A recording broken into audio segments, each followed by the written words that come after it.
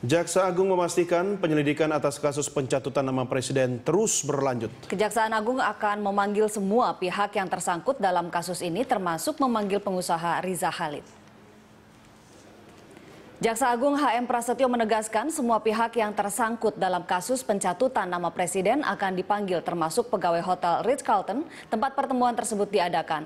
Kejaksaan juga akan memanggil pengusaha Riza Khalid untuk dimintai keterangannya.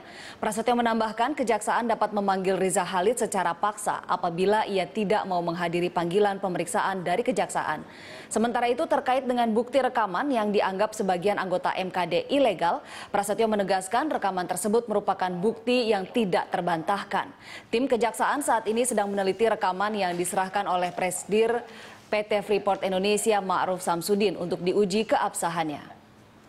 Uh, untuk menampung itu, saya buka dulu, selanjutnya nanti. Pokoknya siapa pun yang kita nilai memang relevan dan perlu kita undang untuk minta keterangan kita akan minta. Iya minta penegasan aja Pak. Kalau pegawai hotel itu Pak? Kita semua yang ini, yang ada kaitan dengan itu, yang relevan untuk kita minta keterangan kita akan minta keterangan kita undang. Ya. Pak, kalau hasil laporan Pak, Pak dengan Pak Jokowi Pak, hasil rekaman. Keaslian rekaman Pak. Oh, iya. Saya tidak melihat legal atau tidak legal, yang penting substansinya seperti Bisa. Mas bisa diajukan untuk sebagai bukti berarti Pak itu? Ya kenapa tidak? Kan bukannya harus ada izin pak. itu fakta kan? Kalau kejaksaan kan kalau ngerekam kita tidak ngerekam. Ya, dia ngerekam dengan kita. Ya itu posisinya ya? gimana akhirnya? Posisinya itu sudah barang bukti. Nah. sudah barang bukti ya pak? kita akan analisis.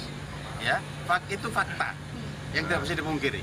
Fakta yang ya? tidak bisa dipungkiri. tinggal nanti saya akan minta bantuan dari ahli IT kita sudah bicara dengan ITB dan mereka sudah sanggup